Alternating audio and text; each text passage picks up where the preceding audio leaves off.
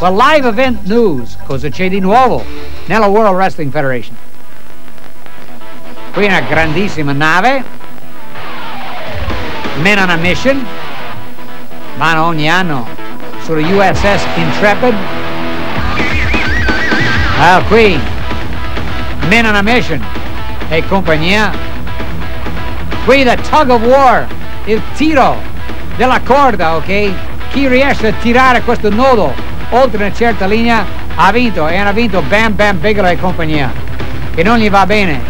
Qui devono cominciare in questa posizione, vediamo. Si alzano, prendono.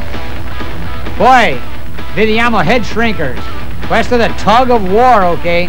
Men on a mission, head shrinkers, Bam Bam Bigelow.